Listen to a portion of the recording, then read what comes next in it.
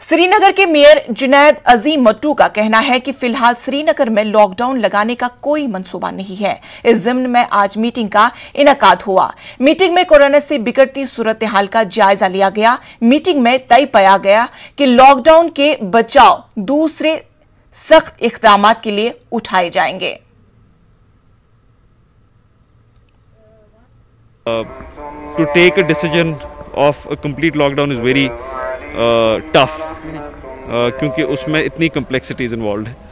But working with community leaders working with experts field experts and doctors we are going to evolve a joint strategy अभी जो S D M ए की guideline आई है कि internal gathering के लिए less than fifty रखना है आपको। आउटडोर गैदरिंग में 100 से हाँ। ज़्यादा कहीं नहीं हो सकते। uh, we are going to enforce them. Mask ban ko we are taking some stringent steps to enforce. मैं खुद I'm going to go around the city and try to ensure the mask ban is उसमें थोड़ा इजाफा हो हमारे school में teachers भी जा रहे हैं हालाँकि वो घर से भी काम कर सकते थे। इस पर आप बात करें उस पर हमने डिसाइड किया we are going to write to the schools अगर उसमें देखिए उनको टीचर्स की कुछ ज़रूरत है minimum attendance for administrative works online classes organise करने के लिए तो उनसे हम गुजारिश करेंगे कि आप उनको स्टैगर करें।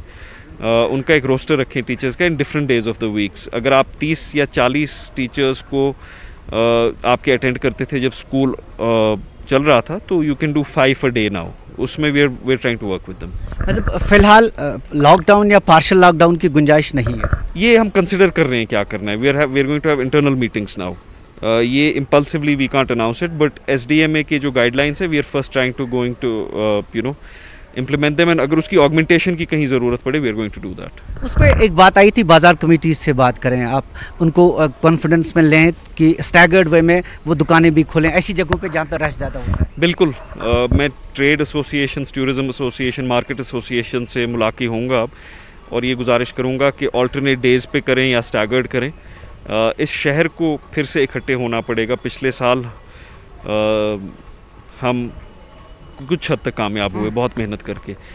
वो सारी रायगन ना हो, रायजा ना हो, उसमें we don't want to waste what we achieve last year तो उसमें लोगों का बहुत कलीदी रोल है। जो डॉक्टर से मैंने बात की उनका कंसेंसस इसमें बड़ा क्लियर था that the challenge they are facing now might be greater than